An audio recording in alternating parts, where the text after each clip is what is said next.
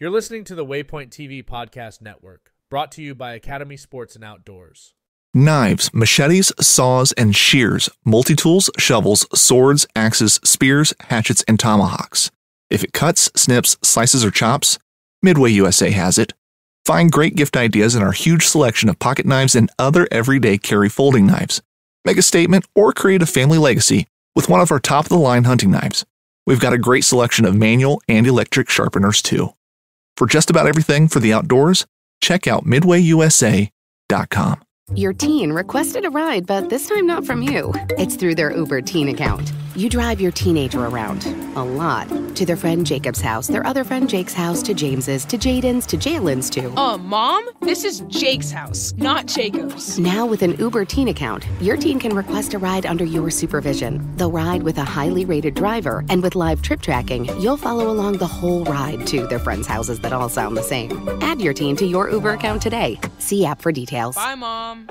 If you hunt enough, you learn the truth. What you seek speaks a language and knows it well. That's why every Primos call for everything you hunt is made the right way.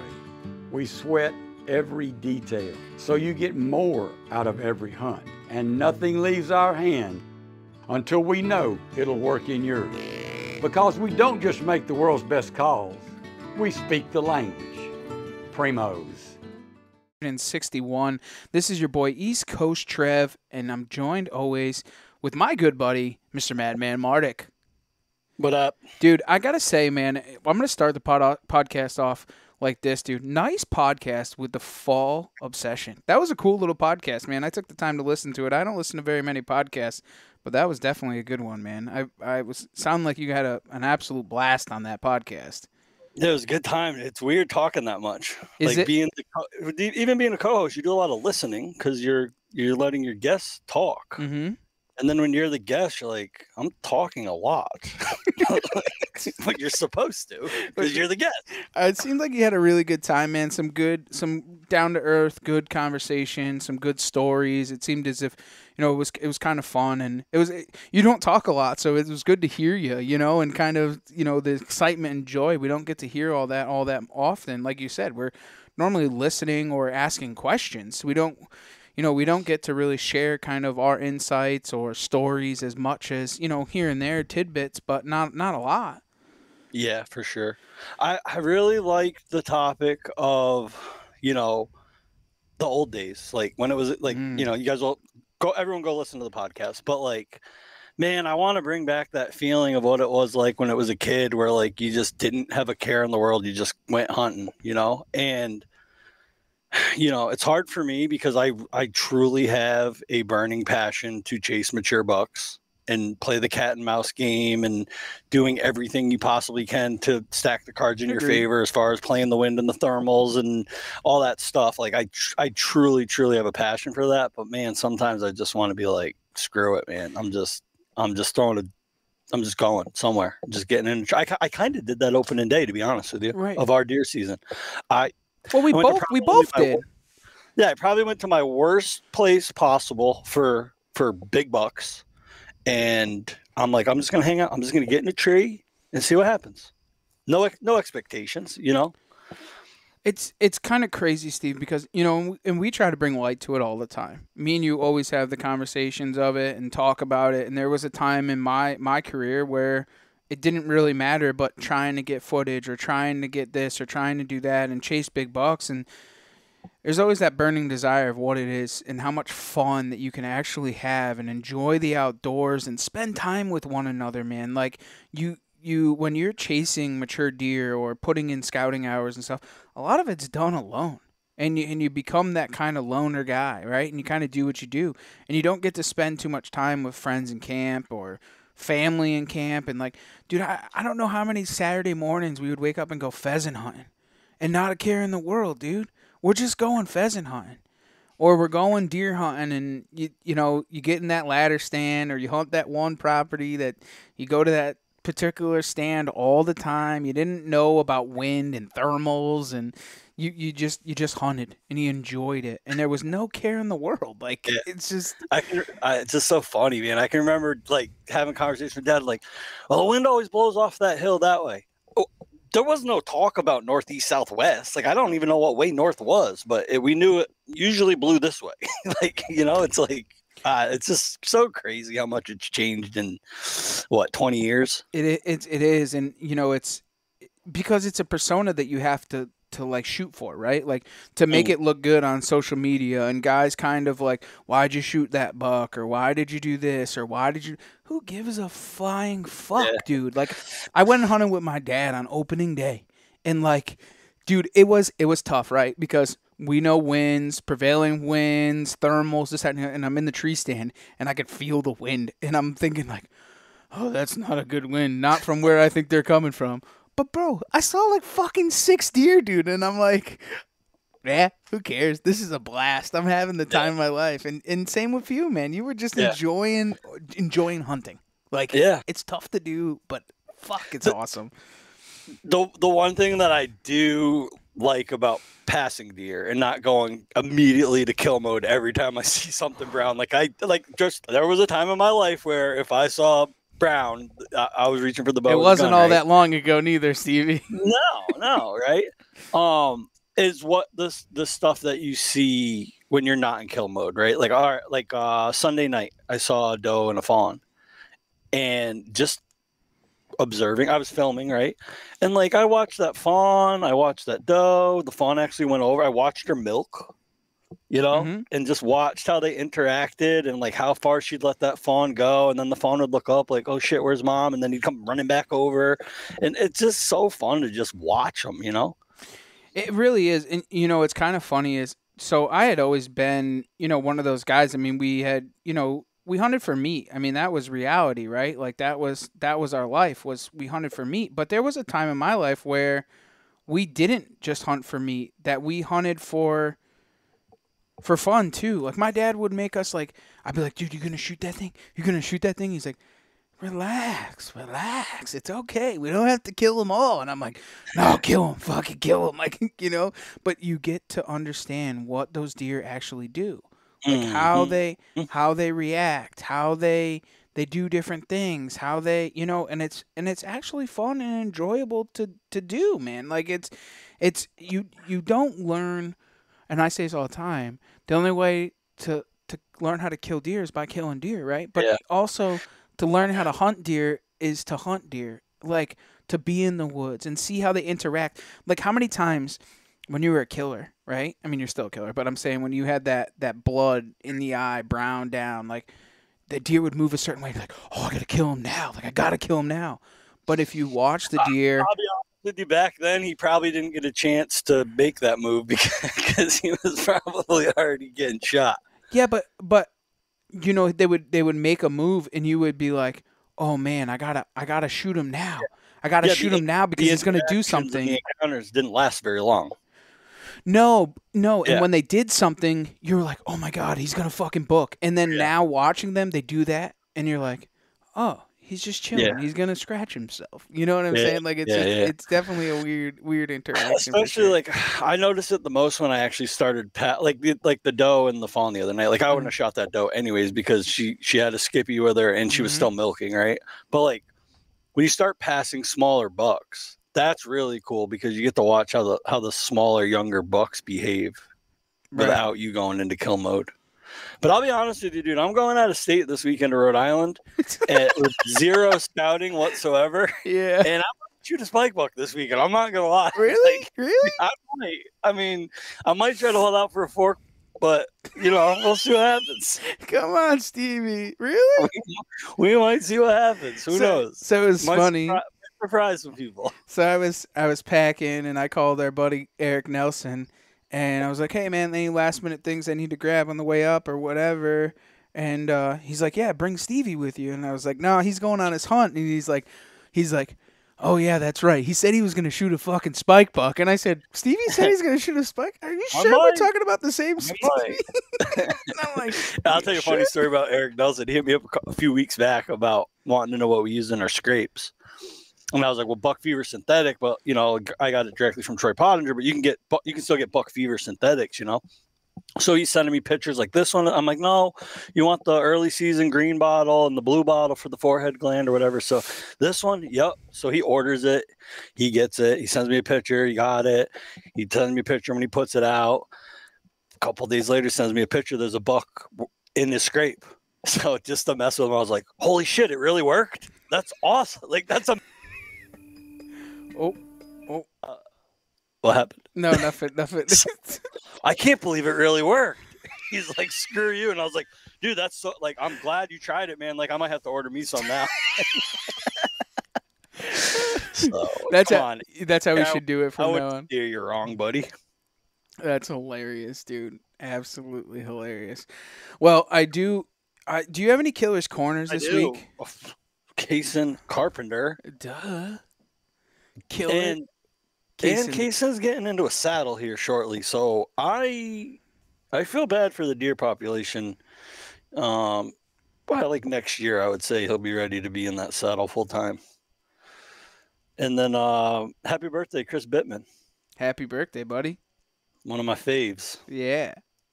the man. Any any others? Uh, I think that's all I got. Uh, let's do let's do a shout out to the the good boys over at Latitude. Corey, uh, he shot an absolute Oh yes, I had that too. slammer. Yeah. Slammer. Uh, it was funny is uh, I was texting him just the other day, just just hitting him up, had some questions about some stuff, and I hit him up, and he I'm like, "How's the hunting?" And I just get he he had just shot the buck, and he sends me a picture, and it's dark with just the antlers, and I'm like, "No way, bro!" What a stud too. and I'm dude. like, "Oh my god!" And, and the whole story too. I, I can't wait to see that. Uh, and Lane was videoing. Right, Lane was videoing with him. Oh, I can't wait to see the production they come out of that because you got to remember the backstory with Corey with the, his uh, bad shoulder, I think it was, and Mhm. and the uh, the operations he's had. So like, what a redemption hunt for him. That deer's a giant, dude. Absolute giant. If you guys haven't gotten the chance, go and check out Grit. I know it's not going to come out until next season of Corey's Buck, but some really good stuff. Uh, they haven't started releasing the second season yet, but um, there will be some good stuff that comes from that. So make sure to go check those guys out. And while you're at it, make sure to check out latitudeoutdoors.com. Use the promo code Outdoor Drive. Um, I think that the Ranger 22 is back in stock. No? Oh, it's sold out Out again. stock again. Yeah, Oh, well, the 11 But- was in stock. I'm guessing though that uh, they probably just can't keep up right now. But so just keep your eye out for. Yeah. And you know what? Not for nothing. I catch it. If you guys haven't already, sign up for the uh, notifications with uh, Latitude because they're super good about. They'll actually send you a text message. Yeah. and um, that's how I got some of that stuff before it went out of stock because I got the text message and just went right to the website and ordered it before it had a chance to go out of stock. So make sure to check those guys out over there. Get yourself your saddle hunting stuff. There is uh, the Lone Star and the Maverick. Uh, now they have the Maverick Mossy Oak. So there's some really good stuff. But make sure you use that it. promo code Outdoor Drive. Realtree. Oh, Realtree. You messed me up on that because I said Realtree. You said Hey, Mossy I don't know you're talking about. It's yeah, Realtree. Yeah, it's Realtree. So, anyways, uh, make sure to use the promo code Outdoor Drive on that one. Save yourself some. Uh, Huntworth. We are brought to you by Huntworth. The official camo of the Outdoor Drive is Huntworth. The new verdict. If you guys haven't gone and checked that out, you might want to go and do it. It's a super great camo. And then they just came out with, uh, they by popular demand, solid color, um, Grayland hoodie and heat boost vest. Like if you guys haven't worn a heat boost vest, not a vest to wear by any means, but that is a vest to have. Like I wear Yeah, that thing when it I gets just cold. When I it gets track cold. it down. Did you really? I was gonna Yeah. I was gonna ask you about that. Yeah. I got it. it I showed up. It showed She's up. In, he's in my possession. Oh man. so got it in the truck for this weekend just in case it gets chilly at night at camp. I, I heard you had some clean pants too that didn't smell like skunks. I do. I do. Stevie wanna use the skunk Skunkless. for backups. That's right. Well, and also, guys, don't forget to refuse to follow. Go and check out Bowtech. They are the official bow of the Outdoor Drive. We will make them eat this weekend.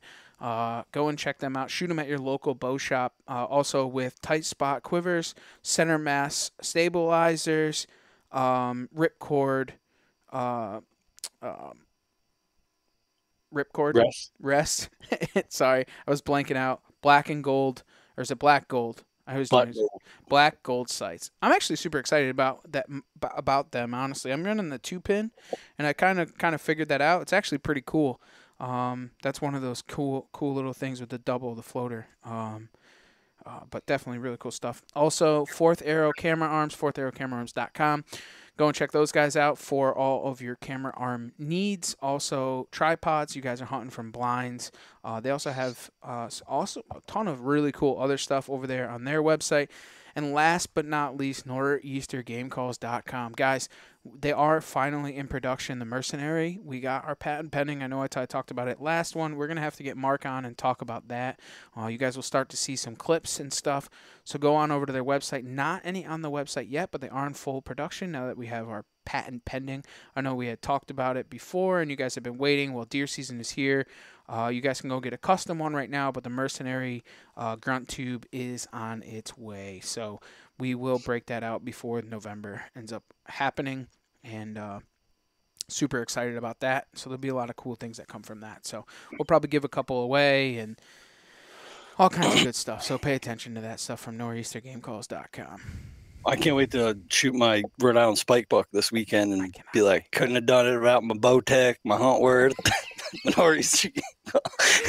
You won't do it. I want to thank all my sponsors for this beautiful spike buck. Stevie, you know what? You Two know year old button doe. it doesn't really matter, to be honest with you, what you fucking shoot. I know. You guys are going out there and enjoying the trip, having a great camping experience together, enjoying enjoying what the woods has really got to offer and killing something is just just a bonus, but I just can't wait to post pictures of you with a fucking spike buck. I hope so, man. I hope I might I might I might pass eight if he's with a spike. You know what, Steve? It's it's really We'll see, man. Like I'll be honest with you, I gotta find deer. Like this is I've literally never stepped foot on this property in my life. So the plan is like we're gonna roll in Friday night, and uh, I think I'm gonna scout Saturday morning and try to get in a tree Saturday afternoon. So we'll and see hunt, what hunt happens. Sundays too. Sunday too, yeah. Sunday morning. Definitely Sunday morning, and then like Sunday afternoon is gonna be like uh toss up, just depending on other factors, right? Cool. So we're checking out of the campground Sunday morning, but Yep. we have the option to, you know, Go check hunt. out and then hunt till dark. But Mm-hmm. I, I think it depends on like what we're on, how the action is, how the weather. You know, we're, we're kind of just playing it by ear. But Cool. It'll be a good uh next week will be a, we'll see if we have a guest, if we release a guest podcast or we're doing some killers because there's a lot of cool stuff we're gonna call Madman and Seth in the woods. in the woods. we'll see what you guys end up coming up with. Um, it'll be a good weekend. Uh, I wish we could all be together, but that's not what happened. So we're just gonna go out and enjoy the woods from two different parts, and hopefully we got some good podcasts and a ton of content to share with you guys. So Divide Um, and conquer. Hey, when you see Eric, bring back some of that buck fever. I want to try it out. see if, I'll- see if I'll- Eric, give him a little squirt in a jar for me, give him a squirt in a jar. Got to borrow it. But um, try some. But yeah, uh, let's get on our good buddies Devin and Cooter. Uh, yes, I said Cooter. Um, Devin and Cooter run Triple Curl Outfitters, D and little D. Big D and Little D, Double D, Double D down. Um, gonna talk a little bit of waterfowl because that's right around the corner. We start here in October. Uh, so it won't be the last podcast that we do. Uh, we got another one, Dave Parrish. We're gonna line him up to come and join us Oh, and talk sweet. some some cool waterfowl stuff too. But we figured we'd get Devin on, talk about that. We got some really good ones in the mix here. Uh, Bill Thompson from uh, Spartan Forge. We got um, Adam Hayes from uh, Red Moon. That one's in the mix somewhere. Hopefully that comes along pretty soon. So we got some really good podcasts, but we figure we break up the monotony and hopefully uh, some killing ones too. And if you guys kill something cool, maybe we'll have you on the podcast. But in the meantime, let's get Devin on the line.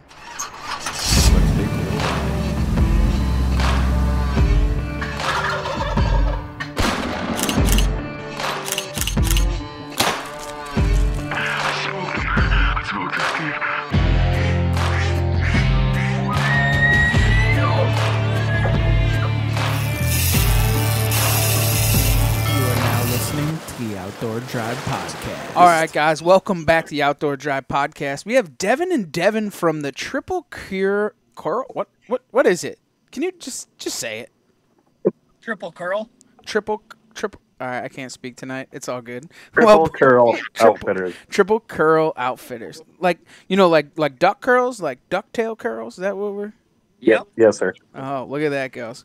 Well, boys, thanks for joining us tonight. We really appreciate it. Uh, they're on short notice. I know we had a small cancellation, and you boys jumped right into suit. Devin's been bothering me for months now to get on the podcast, so I think we, we let him, you know. How are we going to differentiate between the two of you guys? Well, you can call me from Devin, all the call him Devo. Devo? Yeah. Well, my nickname my nickname is Cooter, really. Cooter. well, Nice. so that's how it's going to start. we, Yep. we got What? Cooter and Devin. That's what everybody calls me. I can, whatever. Is that what they call you in the duck blind, or? You don't you don't get to choose your nicknames. You just get one thrown at you, and if it sticks, you're kind of stuck with it, right? Yeah, right. Wisconsin, it's been Cooter. North Dakota was Devo, just like the band. So yeah, I got a couple of them. Nothing better But than that. in the duck blind, the clients after a while were like, "Well, we got a big D and we got a little D." So that's pretty much what they called us when we we're hunting. Little D. Little D. Yeah. He's growing up to be a pretty big boy Yeah. now, you know? He's he's doing big things over there. So So yeah, I remember the years of Devin Devin running around all the shows and the time that he talked me into getting a dog and everything else. So it's Yeah, you need another one about about pretty soon. stop. Don't even do it. Don't do it. Don't do it, Devin. Well, boys, let's uh let's put this thing in four wheel dig. Why don't you tell everybody who you are, where you're from, and a little bit about what you guys do. We'll let you start, Cooter. you want to start? We'll let you go. Okay.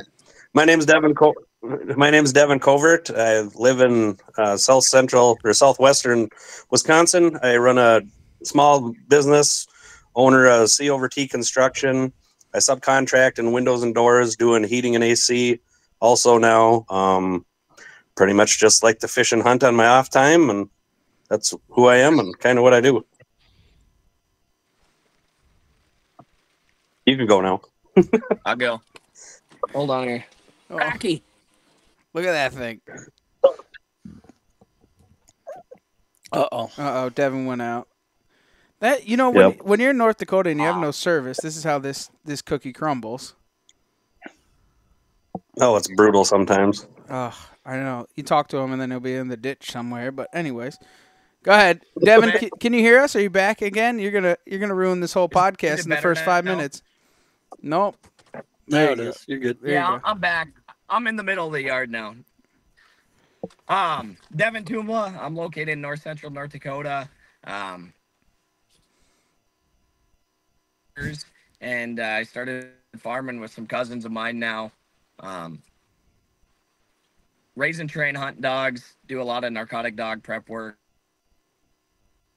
Couple years, me and my cousin Cooter, we started uh, guiding for uh, Mouse River Outfitters, and then we decided it was time to go on and do our own thing, and that's where we're at now. So, what made you guys dig into the whole waterfowl thing? I know that you know we've talked to a couple of people like Ryan Warden and stuff. It's one of those trades that's that's a tough a tough one when you're guiding when it comes to waterfowl and all the federal laws and regulations. Cooter, you better take. I mean, yeah, it, it can it can be tough. I mean, you kind of that's why what's nice about North Dakota is when you get your foot in the door um, and go guide for an outfitter, you start seeing all the the legalities to it, kind of what you're doing. I mean, I've hunted with my dad since I was a little kid, so just doing it, it you kind of follow suit and you kind of know what to do. But then the legalities and everything that has to come into it to start doing it on your own. I mean, it's a lot of stuff. That's why it's nice that they have it where you have to work with somebody for two years before you can go on your own or even think about it. Is that is that how they regulate it? Like you have to you have to do it with another outfitter for a certain amount of time before you can get going on your own. Yes, you have to work with an outfitter, a, a, a outfitter for the state for a minimum of two years. Then you can go on your own. Um, but then you have to uh, you you work for two years. After you take a test, you got to take a test first. You have to pass that in order to even work for an outfitter. And then uh, once you get the job with them, you work your two years. Then you basically get your liability insurance. You can then you s- apply for an outfitter license, and then when they give you that, then you're set to go on your own. That's crazy. So so what made you guys want to do this stuff on your own? I mean, it's a lot to take on and get clients and and that kind of thing. The 1911 is one of the most iconic firearms in history. Designed by John Browning, the 1911 was the standard issue sidearm of the U.S. military from 1911 to 1985. While Colt produced the original, almost every major firearm company has produced its own version. It's wildly revered for its reliability, crisp trigger, and is still a favorite for all types of shooters. Whether you're looking to buy or build a 1911 and just about everything for guns, log on to midwayusa.com. Traveling to see your fave sports team is cool, but traveling with Amex Platinum for the big game is even better. Right this way. With access to dedicated card member entrances at select events, you can skip the line. And one. And with access to the Centurion Lounge, He shoots a three. you can catch the next game on the way home.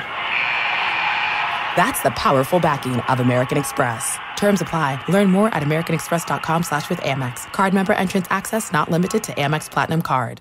The only shooting stick with one handed trigger pull adjustments has a new way to keep you at the top of your game. The Trigger Stick Apex. Built for sturdy support that adapts to unforgiving terrain with easy adjustments to make your big shots. With our DuraSteady three piece carbon leg design and interchangeable rock solid clamp, nothing tops the Apex. The Trigger Stick Apex, only from Primos. Uh, to me, we hunted really well together when we first kind of met because I didn't even know we were related right away, to be honest with you guys. Um, just kind of met and hung out, hunted together, hunt really well together. Um, like I said, I've done it for a very long time with, I mean, started with my dad, hunted with some uncles in the past, other cousins kind of just did it. And I said, Hey, should we, should we do this? Should we jump into this and try it? And here we are today, jumping in and trying it. So so kind of take us through what what a North Dakota uh, waterfowl season looks like. Um, Devin, you can you can fill him in now. if he's, Am I if he's now? in, You're back. are you Sorta. back? I'm back now. Sorry, what, what was that, Trevor? Good. Let us let it rip. We want to know what what does it look like in a North Dakota hunting season. Uh, just waterfowl. Yeah. So, uh, we've got early goose that opens up in uh, mid September or mid August. Um, 15 daily limit. It's it's pretty hit or miss. Up here, it's pretty rough to to get on early geese just because of crop harvest. Um, you know, there'll be guys Fargo, Bismarck, Jamestown area along the rivers where that crop is in so much earlier, where they're out banging birds right away, you know, large numbers 30, 40, 50, 60, 70 birds, you know. Um, up here, because of, you know, the hatches are usually later, the harvest is usually a little bit delayed. So when early goose opens up here, you know, if we're shooting 10, 15 birds, that's that's not a bad hunt at all. Um, we don't get early teal or anything like that. Uh, our crane season does open up mid September. Um, I've never had great luck uh, getting on them right away in the season. Same thing. It's comes down to a migration thing and a, a harvest standpoint. And then regular season opens up usually the last weekend to second last weekend of September. Um, the birds are just crazy. the The first week of resident waterfowl is just out of this world. It's crazy, crazy, crazy. And, and then there's kind of the first push push of birds uh, the following weekend when non-resident opens up. The locals are usually a little scattered, a little finicky, but you can definitely tell that the newer birds are in. And then from there, mid-season, it, it varies every year. You know, it depends on what's happening north of us up in Canada. Being we're so close to the border, you know, we're basically Canada, so it really we really rely a lot on the colder weather hitting on time to create that steady push of birds throughout October. Uh, personally, where we're at, to get into waterfowl in November is pretty rare just because we freeze up so early because you know it's not super large bodies of water uh, it's a lot of sloughs you know acre to five acres um, there's no true river Did you just say systems or anything like that. Did you just say acorn? no acres. Oh, I thought you said anchor. no one, one, to, one to five acres. And uh, so you know it really it really our favorite our favorite week to hunt you know we tell our family and our friends you know try to hit the third week of october um, that's usually when when cooter uh, he only gets two weeks to hunt uh, because he's a non-resident so you get two weeks to hunt you can do a week split and then a week later or you can do it all at one time he usually doesn't get his license to kick in until that third week just because that's when the true heart of the migration usually hits And it's complete chaos then. Why? Why? Is, why do you say that? Because all the birds start coming down from Canada, and it just gets really greasy. And and and you guys are really, you know, you guys are pretty close in that migration in in the first start of it. Yeah, yeah, for sure. Yeah. The one thing that's nice, especially I don't I don't care to do them too much. Um the one thing that is nice, you know, ducks, geese, all of that is a, that's what I prefer, you know, ducks and and Canada geese. But uh Cooter, he he loves chasing snow geese and the the great part about that is you know, we are the first part of the migration when the snow geese come down. So other than, you know, the handful of guys that are chasing them up in Saskatchewan, we're the first people that gets get to touch them down here. So I know I know Covert really enjoys that in the fall once the snow geese start moving down. Oh yeah, I got a vendetta on them little things. So so explain for most of the guests that don't know, like kind of like how the migration starts. Like they come out of the tundra up north, and then they kind of start to migrate down. Or and you're not able to shoot them in the spring coming back up, right? Uh, just the snow geese. Just the Snow snow geese we can do. You can hit them in the spring coming back up. Yes. Yep, correct. Yep. So in the spring, it's a lot. It's a lot different than in the fall. Um, e-callers, uh, you know, there's no limit. I mean, me and Covert could go out and just smash as many birds as humanly possible. Um, and uh, that doesn't happen very often, but you know, when the stars align, uh, I don't think there's a better hunting that you can be a part of is than a, a spring snow goose hunt conservation season. Is it um is it a lot of lessers or greaters that you guys are hunting? As far as snows, Yeah. they're uh, they're mixed. You get some greaters sometimes, but it's mostly the, just like the mid subspecies of them or whatever. You get a lot of the Ross and stuff like that mixed in. A lot of the blue phase. Yeah. Like I know, I think over by the East Coast, it's it's usually just the white birds over that way. I believe. So you, so you we don't get see it. the blues over that way as often. we don't see as many blues, but we do see a lot of blues. Um, but we get a lot of greaters, which is a little bit harder to hunt. Yeah, you get the big ones. Yeah, and they're a lot harder to hunt. Like getting if you on a good day shooting 20 25 in a day is like a knockout day. Like that's like like 10 plus 10. You know what I'm saying? Like that's the best shootout that you could probably have. I mean some guys do a little bit better than that, but like it's not like the Midwest where those guys they'll shoot 75, 80, whatever, you know, they'll they'll beat them up pretty good. We don't get it like that. Yeah, I mean, uh, I mean, there's days that I just start out wanting to shoot 25, and then sometimes you'll get 50. Sometimes you can. I haven't seen the 100 yet, but one of these years I'll hit 100. Yeah. But yeah, I mean, that's the thing. But you get you get 10, like on a on a bad year when it's all adults, you don't have a real good uh, spring hatch out of the, all the juveniles. Uh, it gets really tough to hunt them because you're hunting all wise adult birds that have seen decoy spreads from all the way from Louisiana all the way up to the tundra in the spring of the year. So, I mean, by the time they get up in North Dakota, they get a little tougher to, heart, to hunt. But now with the juvie numbers coming back again, like this year, I, I've heard from a few of my sources I talked to, is that the juvie hatch for snow geese is like through the roof this year again, just like last year. So, and even just from pictures I see on different forums on Facebook, there's a lot of juvies with snow geese this year. It should be a good fall and a good spring coming back around.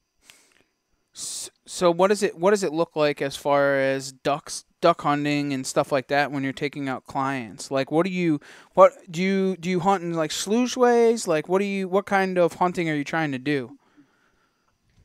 So prim- primarily, uh, every day we try to get our guys uh, a morning and an evening hunt. Um, a lot of places don't do that. You know, it's uh, you go out if you guys see a lot of birds, you're shooting lots of shells.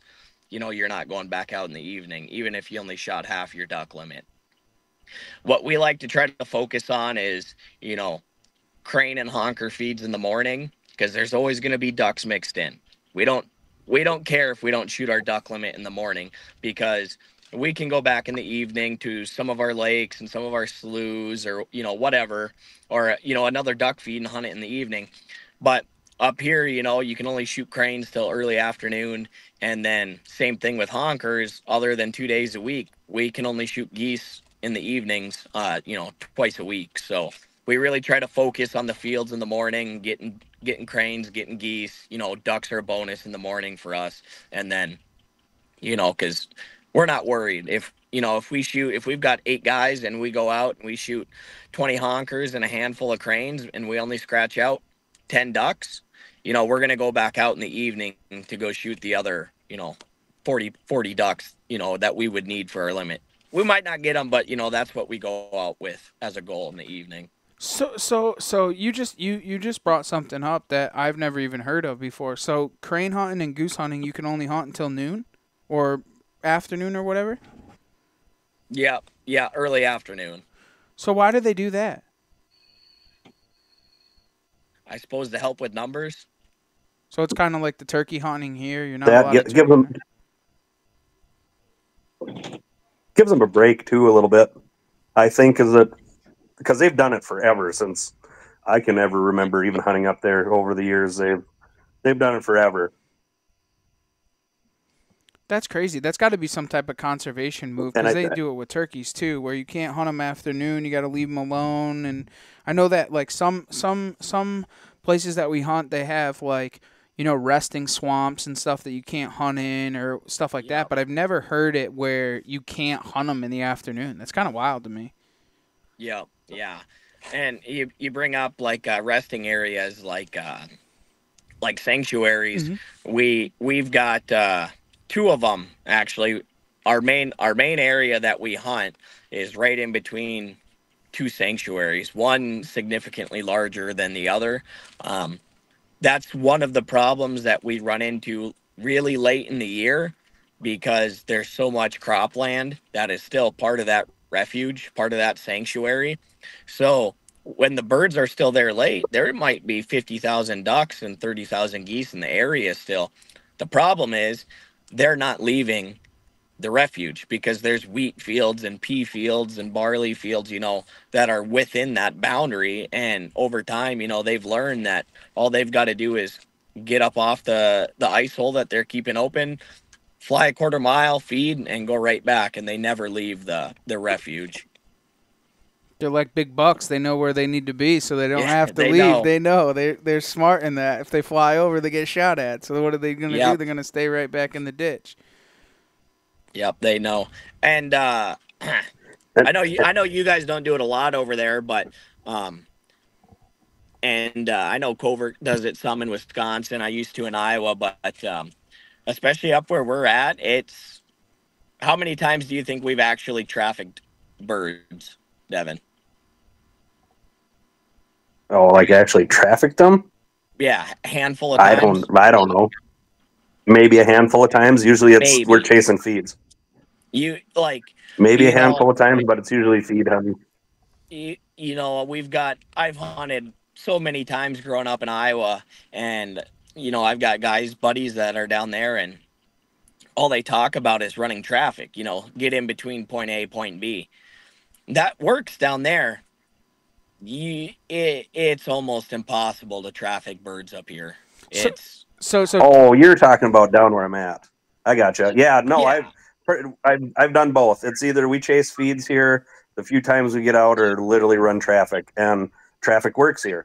But if they start getting educated and pounded on, then you got to go back to the feed hunting here. Like, or they just get super wise and they get really hard to hunt, and it's you got to wait for fresh birds to come because they just turn stale so quick.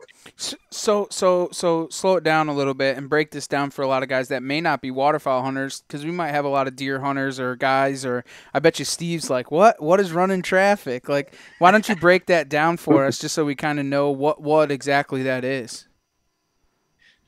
So there, there's we'll just kind of start at the beginning. We've got you've got water hunting, right? You know, you're hunting a lake, you're hunting a slough, a river, coulee, you know, whatever. You've got water hunting, and then you've got feed hunting, which is always objective number one is to find the big feeds because that's where you're going to have the most luck. That's where they that's where they want to go. Um, and like I said before, you know, trafficking is basically you're getting in between point A and point B. You know, you know where they're at, where they roost, and you're trying to cut them off from getting to point B. You know, whether that's a loafer pond or, you know, where they're feeding, you might not have permission for it. So you set up in between the two with your decoys and try to draw them into somewhere where they don't necessarily want to be. And then you're just running like big decoy spreads to try and get yeah. them to go where they want to be. Yeah, you're not throwing out small, you know, half-ass spreads if you're trying to trying to run traffic. So, and and one of the things I mean, like in waterfowl hunting, like a lot of the things is it's guys always ask like, how many decoys should I be running? In what scenario should I be running them? I'll let you take that one, Cooter. um, I mean, it's always different. There's there's guys that'll run 400, 500 honker decoys. There's guys that'll run 40, 50 of them. I mean, it's a different scenario of like how many birds are in the area, stuff like that. Um, snows, for sure, it's a number game with them things. It's big number spreads, whether it's full bodies or socks or a mix of full bodies and socks. That is a big number game with snows most of the time. Um, ducks, uh, you run a you run a dry field on ducks. I mean, you, you probably want to run five to eight dozen full body duck decoys with some honker decoys, or run run them in the kill hole with snow decoys, full bodies, because ducks like to go to snow geese because they're aggressive feeders. I mean, it's it's always a it's always different. I would say. I mean, some guys will sit there and tell you 300. Some guys, I mean, I know guys here. Some of my buddies here in Southwest Wisconsin have killed geese in early season with as many as six full bodies. I mean, that's how shot, we used to shot hunt their sometimes. five birds a piece out of three guys. They shot 15 birds. Yeah, and sometimes I mean, and, and, and a lot of guys don't realize is that they're just aggressive birds in the beginning, like especially honkers. Honkers are one of those things that like sometimes less is more. You know, like if you run a little bit Yep. less, sometimes because they're so aggressive. One of the things we used to do always in the kill hole is we would do three sleeping, three sleepers in a triangle. And I don't know what it is, and when you put it in the kill hole, they literally want to land on them. I don't know what it is or where it came from, but we put three sleeping ones right in the center of the kill hole, and literally they put their feet down right on their backs, and it's mind blowing. Yep. I'm like, why? What are you like? I just I don't get it. I don't get it, nor do I understand it. Yeah, we don't we don't run a ton of sleepers. Uh, you know, situations arise where you know you always wish that you might have more of them than what you do. Um, I say the two the two kind of hunts where you're gonna run sleepers with honkers the most is gonna be hunting water and Mhm. getting those sleepers put on the shoreline and hunting snow. Other than that, I mean, we we don't really throw out too many sleepers, do we? No, if like not. I, I mean, I got a couple, but I don't think we've ever thrown them out. I mean, when we, you and me would just go fun hunting and stuff, I had those ones, but there's only like two or three of them I ever set out. But no, I, I, I would agree with loafing, whatever stats, loaf like shoreline stuff, and then in the snow because geese always land in the snow and they lay down. It takes them, and I mean, some significant time for them to melt the snow to get down to the feed in the snow. So that I could see that more beneficial, but um, I haven't done too many snow hunts, like out out in the snow. Uh, few, but that's what I've always seen just watching flocks of birds over the years when it's there's snow on the ground and they're still around. That's I can see it's more beneficial at that point, those two points to use sleeper shells. Do, do you ever do you have like your special decoy or something that has to be in every single spread? Uh, I wouldn't say a special decoy, but we've gotten to the point where ma- majority majority of the hunts, uh, clients might look out at sunrise and there might be a pair of sandhill cranes sitting on a hilltop 200 yards away. Why do you do That that? that, that has happened. Yeah, I don't know, just just for fun, messing around. But you, at the same time, they're they're one of those confidence things, right? Like, you know, it's just like um, when when we were in college, uh, one of my buddies bought a got a swan tag, and he went and bought like a dozen swan floaters. You don't. What do you need a dozen for? But what we started doing was that no matter how finicky the birds got, if we tossed out one or two of those swans on the edge of the duck spread, they they liked it better. It was confidence for them. That big bird's not going to be there if they're worried. And so, you know, half of it's just messing around, being funny, you know, goofing off and putting something out there doesn't really need to be out there. And the other half is, you know, just for confidence. See, like when we, you know, Dev, when we sea duck hunt, we always have the seagulls in the spread. Like just these random seagulls. They'll just be Yeah. like in the spread. Danny loves to run the seagulls, but I knew that everybody always has a lucky mojo or some defective decoy that they always have to have in their spread because it seems as if like waterfowl hunting's one of those things. It's always just like good camaraderie, jokes, funny, busting stones, busting ass on each other. Like it's just a fun, good time. I I I've got a I wouldn't call it a a, a lucky decoy necessarily, but um so Mouse River Outfitters we used to guide for uh Todd and then there's a couple of the guys we're pretty good friends with uh you know Nick and Nick and those guys and Jared and uh me and Ivy we went over to go hang out with them and do a little hunting and we went out to the bar and Nick was just he was gone. And his wallet was sitting out on the table. So me and Jared got his credit card out and we ordered you know uh, a big uh 12 inch um adult toy to the lodge. And that whole season every day that they went out they slipped it into a client's blind bag and the clients would get out there and start reaching around to grab shells and they'd grab out that sucker.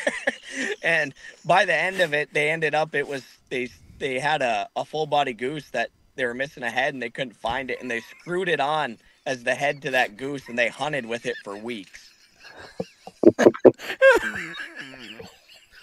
So yeah, not the, necessarily you know like a lucky like a lucky decoy or a lucky aura or you know four leaf clover or something but you know funny stuff like that does happen pretty often It's always it's always something in camp. Like I guess I guess as a guide and being around the guys all the time and having different clients come in, you have different spoofs and different funny things that guys do. Because I mean, let's let's face it, guys are out there to have a good time. I mean, Steve, how many times in bear camp did they have little tiny spoofs or something that you guys would do throughout the years? You know, just being in camp with all the guys. I mean, it's just a it's a it's a normal thing every single time you go somewhere because everyone's there for vacation. They're there for a fun time. They don't want it to be up, you know, kind of like stuffy and, and not fun to be around. Yeah. yeah. it's just they had i mean the client a lot of the clients we've had over like the years of doing this they're a riot you can kind of read them within about the first uh, i'd say maybe 15 20 minutes when they're getting like settled in or hanging out and oh man we said we devin and me have had some dandies oh god you're just sitting there your guts hurt so bad from laughing so hard in the blinds by the time you're done hunting it's like oh my god you guys are awesome and so much fun to hunt with What do you What do So, you think it- I some mean, of those stories pretty are? fun. Tell us some of those stories. I mean, those. I mean, let's share them with everybody. I Well- think my, I think my favorite one was so I uh, I I don't know. Covert could probably attest to it, but I bought a water spread a couple years ago when we started guiding because I wanted I wanted our water spread to be the best of the best, bigger than everyone else's. I mean, like I don't know many outfitters up here that really try to hunt water. Most try to hunt fields. But I would put that water spread that I got against anyone's. And was Devin and these three old guys that we had, and they were from were they from Georgia or South Carolina? I think so, somewhere over there. that is one of our last groups of the year, and we had been smoking birds with them. But uh, these two, you guys had what, two teal or gadwall or something come sneak around the corner, and they landed right in the middle of the spread. And Oh, it's two mallards. Two mallards. Covert, Covert goes, All right, you guys see him? Yep, yep, yep. Get ready. Boom, boom, boom, boom, boom, boom. And one's dead and one's flying away. Well, the guy on the end, his name was Ralph, and he goes, Well, I got that one. And Covert's like, You didn't no, you didn't. It flew away. He's like, It's it's laying right there, it's dead. So Covert sends his dog out there, gets the one duck, brings it back, and then he about five minutes later, one of my decoys is ass down, sinking down to the bottom of the slough. Just peppered. Just absolutely peppered a decoy. You could have not you could you would have never been able to tell that guy he shot a decoy and not a duck if you wouldn't have pulled that decoy out of the water. I actually sent my dog out there to retrieve it, and all I hear is like a plastic chomp, and I'm like, "What in the heck?"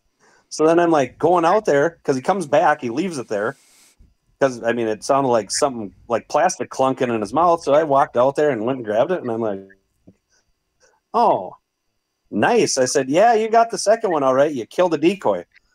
And he just massacred it. It was BBs everywhere, brand new, basically brand new decoys. oh, it's brand brand new first season. Hey, we we let him take it home. I'm pretty sure he's got it sitting on a shelf somewhere in his house. Do you Yeah, he got pictures with with Devin and me with it, and we're like, "Yeah, you're taking that home as a trophy." He goes, "Yeah, I am definitely taking this home."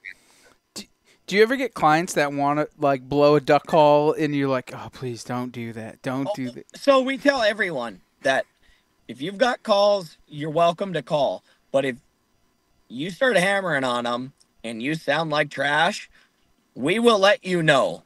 And there's been more than a handful of times where you have to tell guys that you can just put that away. You're doing way more harm than good right now. How do you go about that conversation though? Like like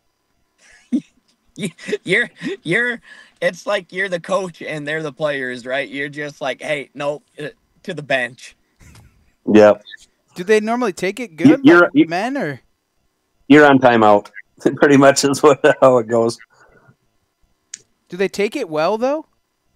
Yeah, I don't think I've ever I don't think I've ever had anybody, you know, cause a big Hunting boots are a critical component of any successful hunt. Whether walking a short distance to your blind or trudging miles through rugged terrain, your feet are carrying the load. Without the right boots, you could give up early and lose out on that trophy just over the ridge. At Midway USA, we make selecting boots for your next hunt easier. With just a few clicks of a mouse, you can decide on what's important, like waterproofing, insulation, size, width, and savings. For just about everything for shooting, hunting, and the outdoors, check out midwayusa.com.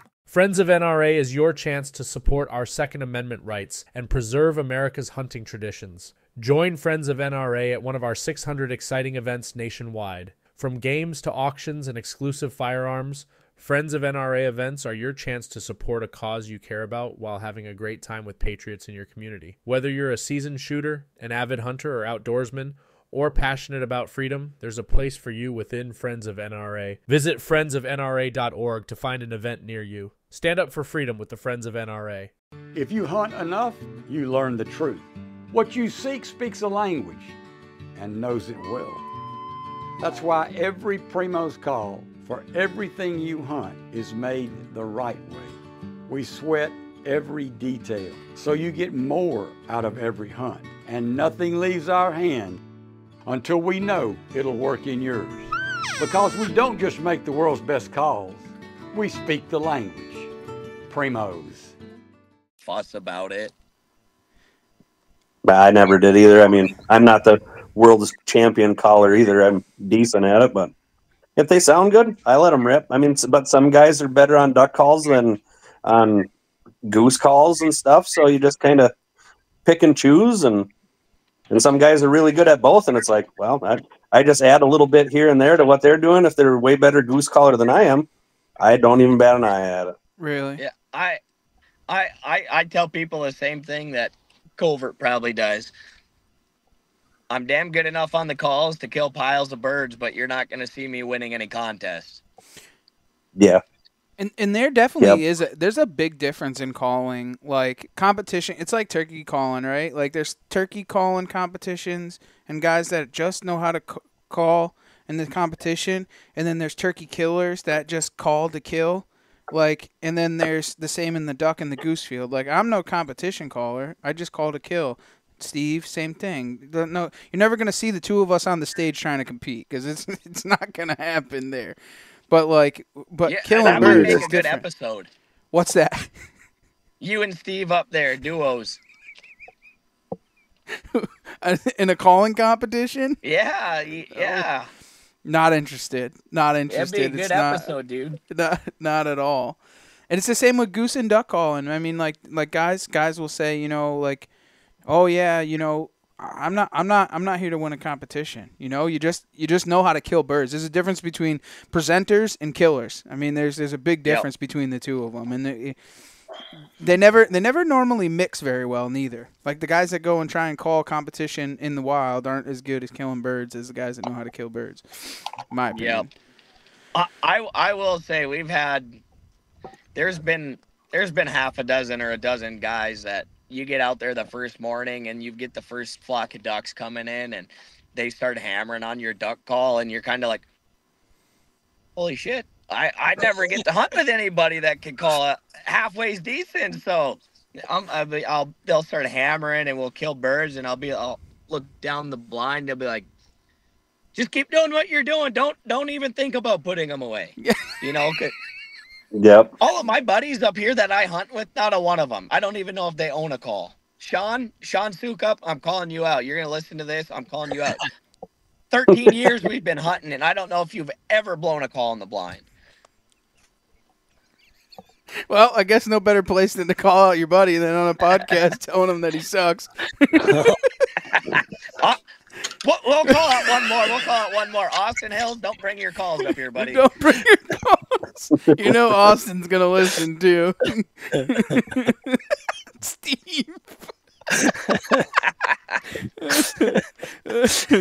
that's uh if you guys don't know what that is that that's what rattles your antlers so what better what better than than to break into our new segment what rattles your antlers tell me what rattles your guys' antlers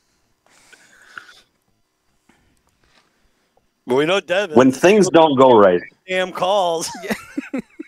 Yes. and, and well no i don't get i don't get super mad with, about calls. It's just when you, you know you put the effort you put the time into everything and there's times that things don't work out the way you want it to work. But you know damn well at the end of the day you gave it all you had and you know it, it is what it is. It's whether the birds have been pressured and didn't want to work that day or it's just i mean it, it happens. It's you're at the end of the day you're still hunting.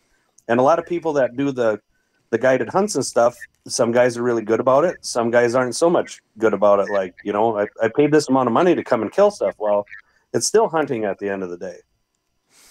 And I mean, that's to me, I get more frustrated than anything. So I could say that's what rattles my antlers is when you have that bad day or bad morning or bad evening and and you just kind of beat yourself up about it. But there's nothing you can do about it. It was the birds that didn't want to work.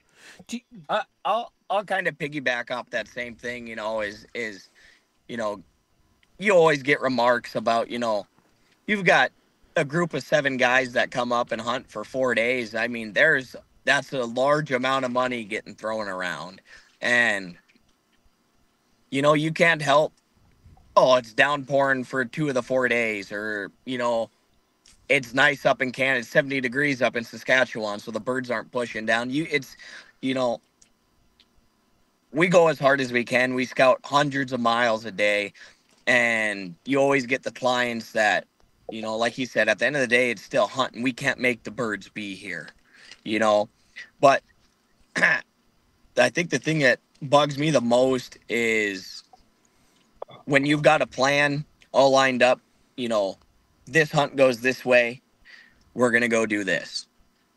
And you start getting to that point where you're going to swap your plans around and clients, you know, at the end of the day, you're not necessarily you need to do what they what they want to do, but at the same time, you know, they're your customer. So you've got to appease to them and make them happy. So if they don't want to go with the plan all the time, sometimes that's what you got to do.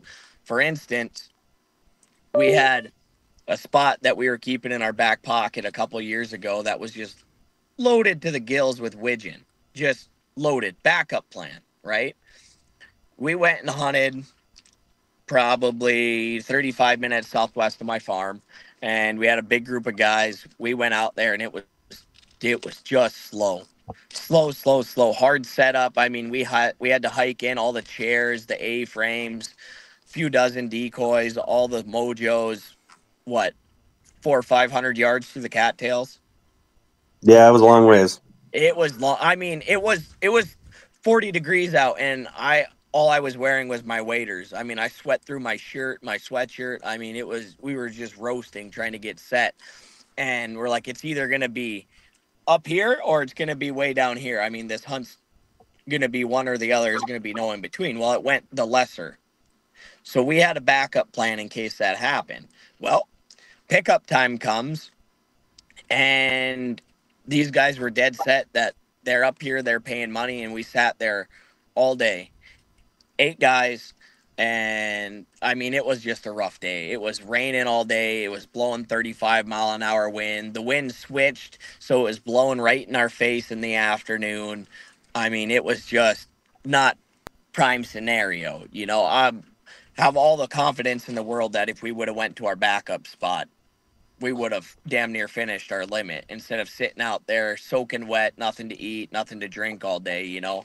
So that's that's what bugs me is, you know, just just guys just being bullheaded, you know, not willing to, you know, switch things up and and do what might be best. So that's one of my biggest pet peeves is guiding the guide, right? So like if Yeah. the guide tells you what to do, he knows best. Like let him do it. Put that put that faith in your guide, right? Like if you Yeah. say like all right, this ain't pan, panning out to what it needs to be. I got a different plan. Like, let's do it. You know, like, you know, I guided fishing trips forever, and it was the same thing. Guys would be like, oh, no, you said there's fish here. We're just going to stay here until they bite. Well, guess what, buddy? They might not bite, but I got another plan. Like, let's run down the road and let's see if we can't find something else. And that's kind of the same thing that you're trying to do. And you can't guide the guide. Let the guide do what he needs to do to make it happen. It's the most important thing when it comes to guiding. And and guy, but guys, you you probably get a lot of stubborn guys, and then you probably get some that follow your plan and want to do what you want to do, and it pans out and always works. Yep.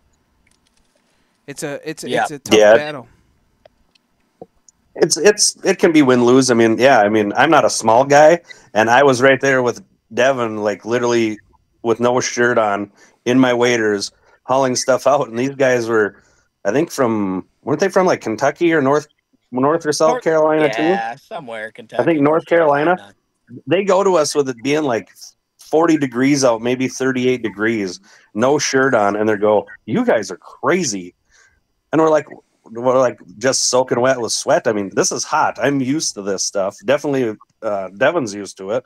So we're like, yeah, we this is what we do. And then at the end of the day, I mean, by the time they were going to leave, and they had to leave on flights and stuff, I mean, they gave us a real nice tip. We did one more morning hunt, gave us a nice tip. They're like, hey, you know, um, they're like, here you go. You guys deserve it. You guys worked your butt off for us with you guys doing what you do, worked really hard for us. And here, here's what we're doing for you. And the other thing was, is that uh, the other guys at the other lodge weren't killing hardly any birds at all. So the birds we were killing actually, I mean, it, it was, we were killing birds a few here and there, but I mean, they're still killing. So, I mean, it, it turned out being all right after, after the end when it was all said and done. They were really happy with the hunt. you know it's funny funny that i've kind of found over the years is that like guys the most appreciation is the ones that you have to work hard for right? Like when you have Yeah. to work Yeah. hard, you know, just because you're not filling limits every single day in the truck doesn't mean you know some of those clients take that stuff for granted. The ones that you have to stretch out all day to try and pinch out a uh, you know a limit, those are the ones that appreciate it the most. You know, like they they they understand the hard work that goes into it and the dedication.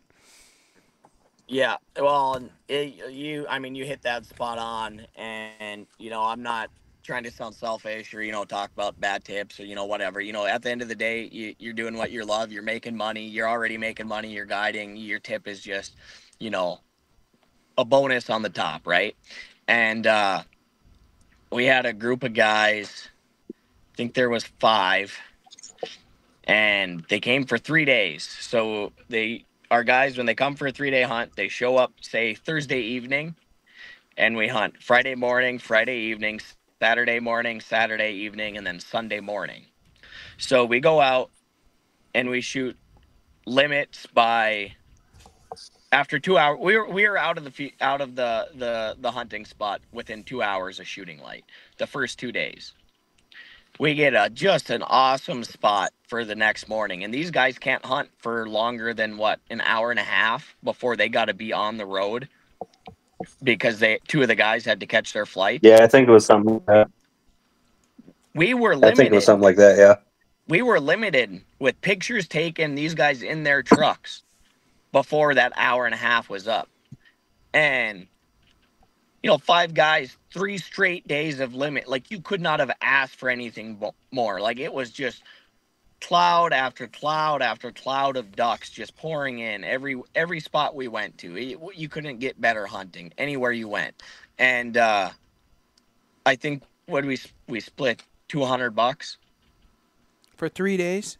I think something like that. Yeah. yeah and we've yeah. had we've think had it's something like that.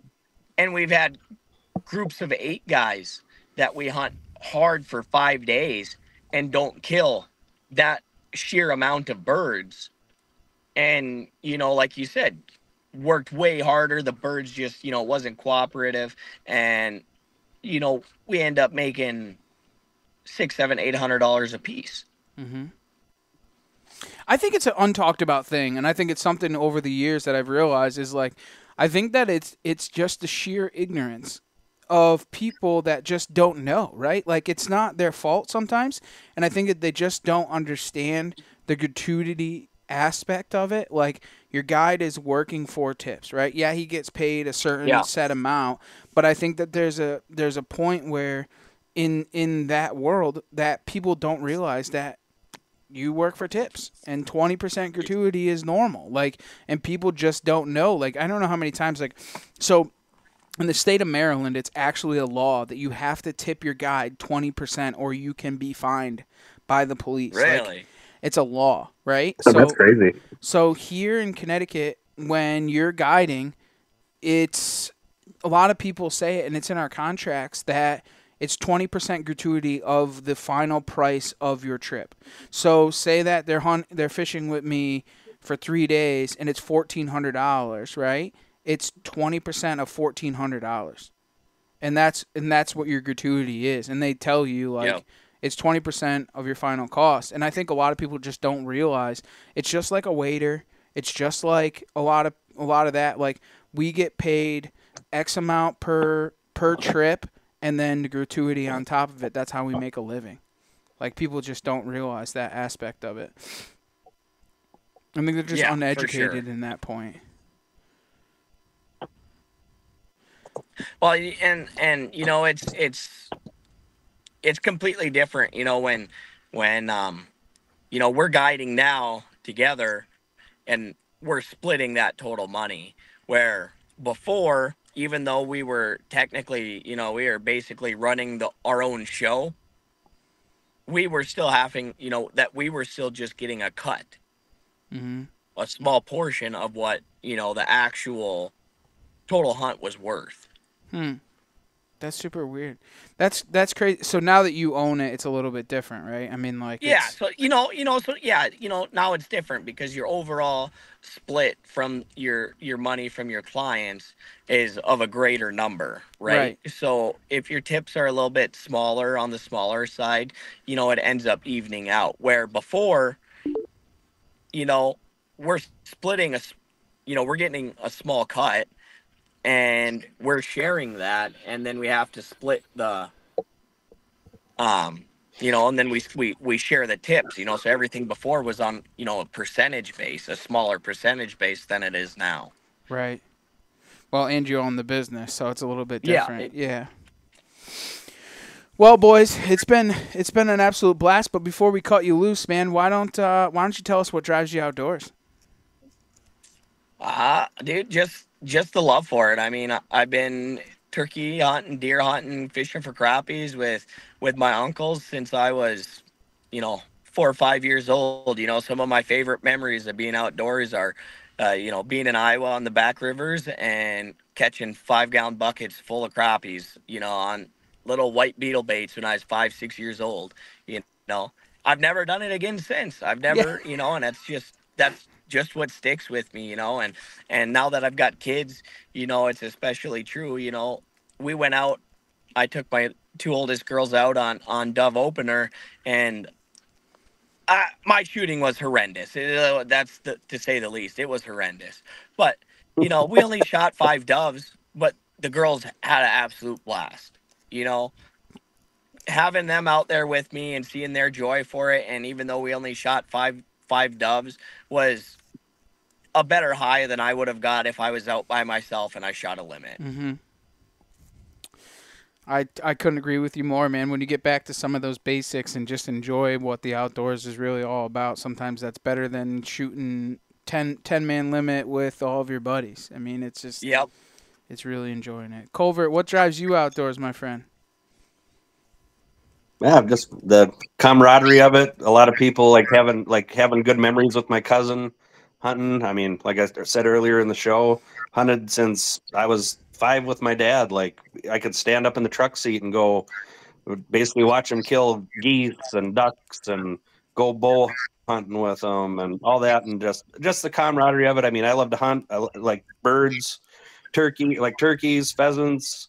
I like to archery hunt. That's always one of my big passions too.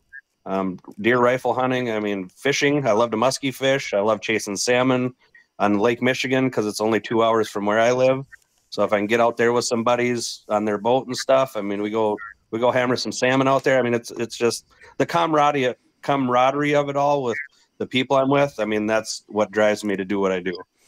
Absolutely. Boys, why don't you tell them where they can find you, where they can book a hunt, where they can follow along, and kind of see what's Uh, going on?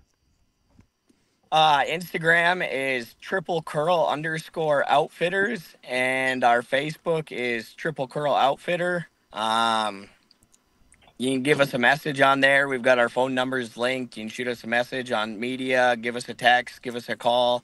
Uh, email is tc.outfitters.nd at gmail. Shoot us an email if that's what you prefer. Um, we've got quite a few openings yet for this fall, and uh, we're just looking forward to having a, a what looks to be the best duck numbers I've seen in the last six or seven years, and I'm just really looking forward to chasing ducks this year and uh, getting after it with the clients and Cooter. Fantastic. Um, and you guys offer full lodging and all that stuff too, or is it just kind of like a DIY style, or how does that work for No, you guys? just uh, so as of right now, we're not offering lodging anymore. Um, we did that when we were, you know, with Mouse River. Uh, it's just too much for the two of us to keep up to. Um, you know, more guys makes it easier when you're running a two-man show and you're got five, six guys trying to keep up with a lodge and farm and all that. It's just too much. Um, so right now, there's we've got a couple different um, hotel options, lots of different places to eat, and uh, we ca- we tried to set our, our prices to to reflect that, you know, so you can compare it to getting some going somewhere, getting the full fledged thing, you know, paying X amount of dollars for three days for everything included. We tried to reflect our prices, you know, so that you'd even be on the cheaper side after you paid for food and hotel and, you know, a couple nights at the bar. Fantastic. Me and Steve are going to get on an airplane. When should we be there, you think? No. Dude, whenever, just on Around the opening weekend. third we, week of we, we got some big, we got a big group on opening weekend. Duh. I don't know, man. The third week in October is going to be tough to leave the state. You know, though. I'm thinking about that spring return on them snows. That sounds like fun to me. Yeah, that's Stevie You needs can come to and do in- that too. Stevie Do needs up. to get in on some of that. Stevie, we should plan a trip and go down there and do it. But the problem is, if Is that, uh, where, where, where's that season hit with your turkey season? Uh, I think it. I think it inter- intertwines, but uh, turkey season's lottery. yeah, you got Yeah, turkey season's lottery there. lottery draw.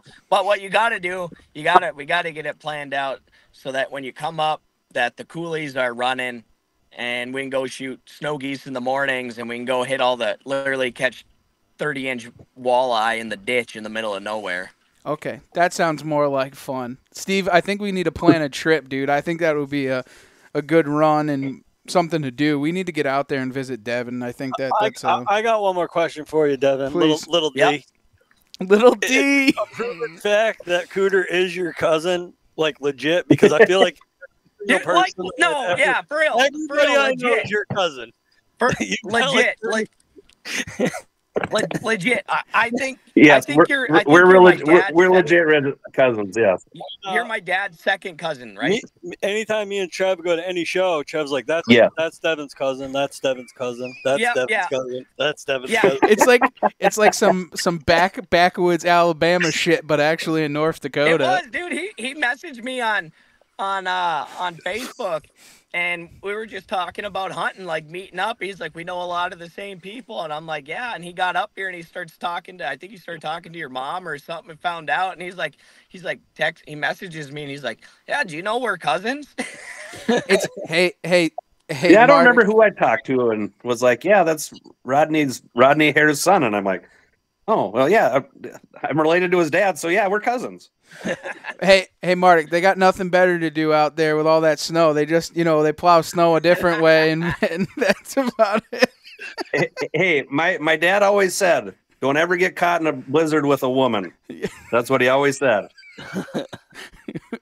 Why is that? Why wouldn't you? I mean, not- if- I don't want to be caught in the not- blizzard with you're you not ice three burly fucks. winter- if you're not ice fishing or chasing coyotes in the winter, you're probably at home doing something else. Well, that's why you got five kids, Devin.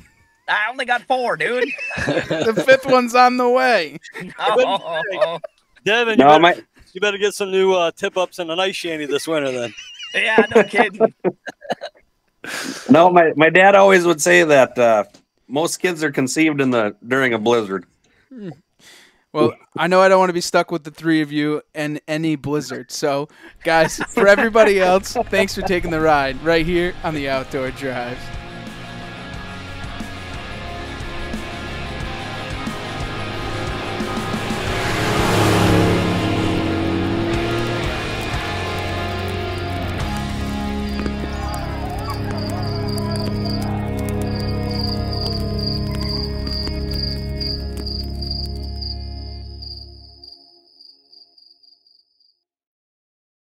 Hey everyone, this is Captain Steve Roger from Into the Blue TV.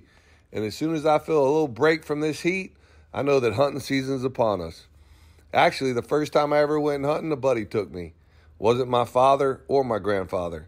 In fact, I took my father on his very first hunt. Well, Academy Sports and Outdoor Stores has everything to gear up for the field for less. Plus, you can shop a wide selection of ammo, shotguns, deer corn, rifle, feeder, game cameras, camo, and more from the brands you trust. Text Hunt 24 to 22369 to take $20 off a $100 purchase when you shop hunting supplies at academy.com. Need a hunting license? Pick it up in store while you're shopping.